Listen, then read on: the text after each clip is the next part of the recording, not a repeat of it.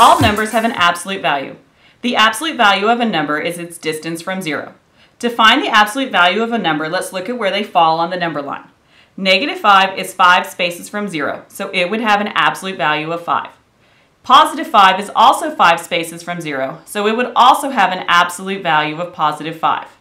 The absolute value of a number is written without a positive or a negative sign since it just describes the distance from 0, not the direction from 0 as well.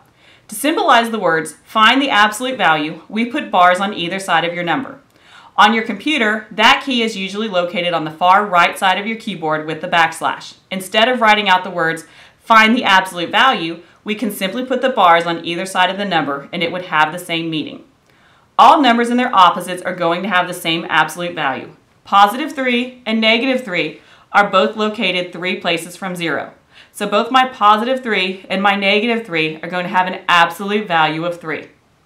We can also reverse the question and ask which numbers have a specific absolute value. For example, we could ask which numbers have an absolute value of 4.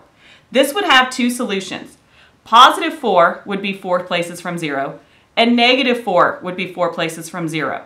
So the values that have an absolute value of 4 would be the number and its opposite.